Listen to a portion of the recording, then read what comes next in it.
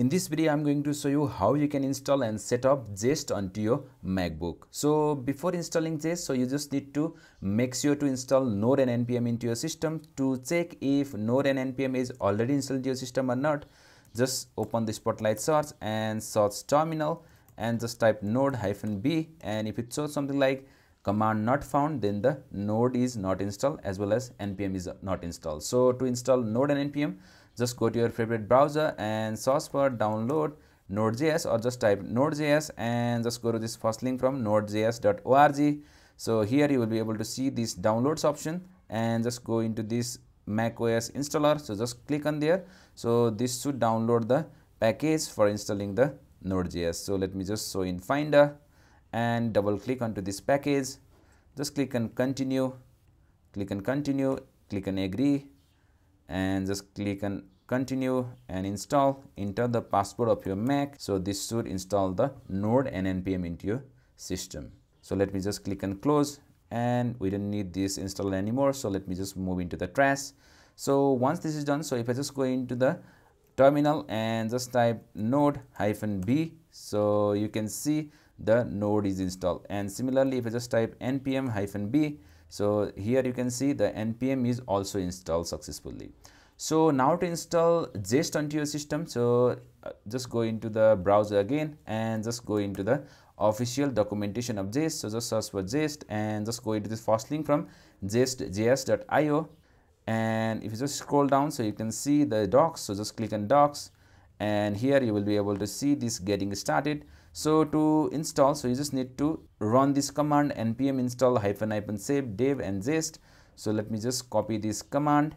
And before that let me just open the vs code. So just open vs code and just click on this terminal. Just click on new terminal.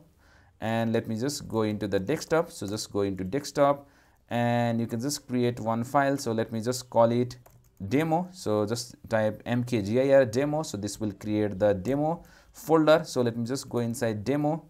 So here you can see the demo. So you just need to open this demo and let me just go into this open folder. So since i have created in my desktop so i will open the demo folder. So let me just click on open. And inside this demo so we just need to install the jest. So let me just click on new terminal. So let me just paste that command. So which i have just copied from here. So this is the command so just copy that and paste it inside this demo folder and just click enter. So this should set up the jest onto this demo folder. So here you can see the package.json so the dependencies are added and here the node modules are also added.